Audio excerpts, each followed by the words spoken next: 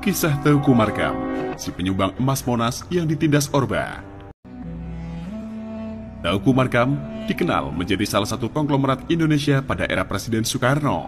Komitmen Teuku Markam adalah mendukung perjuangan RI dengan cara mengelola rampasan perang untuk dijadikan dana revolusi. Hasil bisnisnya sering kali disebut ikut menjadi sumber APBN.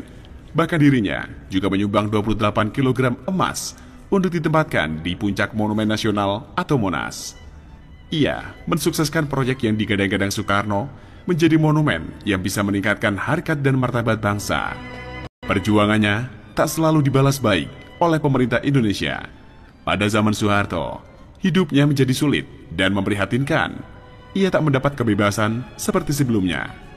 Soeharto, selaku Ketua Presidium Kabinet Ampera, pada 14 Agustus 1966 mengambil alih semua aset Teuku Markam. Peran dan sumbangan besarnya untuk membangun perekonomian bangsa tidak berarti di mata pemerintahan Orde Baru. Ia dituding sebagai koruptor hingga dicap menjadi bagian PKI. Pada 1966 juga, ia dijebloskan ke dalam jeruji besi tanpa ada proses pengadilan. Tak sampai di sana, berkali-kali ia diasingkan dari satu penjara ke penjara lainnya.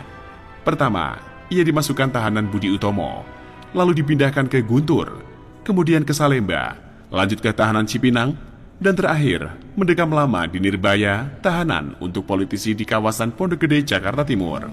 Ia baru bebas pada tahun 1974 berkat bantuan dari teman-teman sejatinya. Ia dibebaskan meskipun tetap menjalankan kompensasi dari pemerintah. Keluar dari penjara, Teuku Markam mendirikan PT Marjaya pada 1974. Kala itu, ia dipercaya menggarap proyek-proyek raksasa Bank Dunia untuk infrastruktur di Aceh dan Jawa Barat. Namun, setelah jadi, tak satu pun proyek tersebut diresmikan oleh pemerintah Soeharto. Proyek Markam dianggap angin lalu tanpa sedikit pun digubris oleh pemerintah. Pada 1985, Teuku Markam menghembuskan nafas terakhir akibat komplikasi berbagai penyakit yang menggerogoti tubuhnya.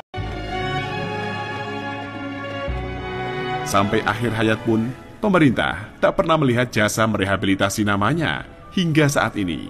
Sementara salah satu jasanya terus dikenang sebagai monumen kebanggaan Indonesia. Jauh sebelum itu, Teuku Markam adalah seorang anak yatim piatu yang ditinggalkan kedua orang tuanya saat ia masih berusia 9 tahun. Putra asli Aceh ini pun tidak sampai mencicipi pendidikan yang layak. Ia hanya sampai kelas 4 sekolah rakyat. Namun, dirinya bergabung dengan tentara setelah menjalani kegiatan wajib militer di Kutaraja, Banda Aceh. Ia memiliki tekad yang kuat untuk membantu menyelesaikan segala kondisi yang buruk pada negeri ini. Selama bertugas, ia aktif di berbagai lapangan pertempuran. Sebagai prajurit penghubung, ia diutus oleh Panglima Jenderal Bejo ke Jakarta untuk bertemu pimpinan pemerintah. Bahkan, ia juga menjadi ajudan Jenderal Gatot Subroto. Inilah yang menjadi awal keterkenalannya di kancah nasional Indonesia. Saat Gatot Subroto meninggal dunia, ia mempercayakan Tengku Markam untuk bertemu dengan Soekarno, membahas kondisi perekonomian yang sedang melanda Indonesia. Tahun 1957, saat Tengku Markam berpangkat kapten, ia kembali ke Aceh dan mendirikan PT Markam. Perusahaan rintisannya itu berkembang sangat pesat hingga ia dipercaya oleh pemerintah daerah, bahkan pusat, untuk mengelola berbagai macam proyek. Teuku Markam memang menggeluti dunia usaha dengan berbagai macam aset, berupa beberapa kapal yang tersebar di Medan, Palembang, Jakarta, hingga Surabaya. Bisnisnya semakin luas karena Markam juga terjun dalam sejumlah proyek ekspor impor. Ia sebagai konglomerat dikenal sangat dekat dengan Soekarno dan sejumlah pejabat lainnya seperti IR Sutami, politisi Adam Malik, Suparjo Rustam, Kaharudin Nasution, dan masih banyak yang lainnya.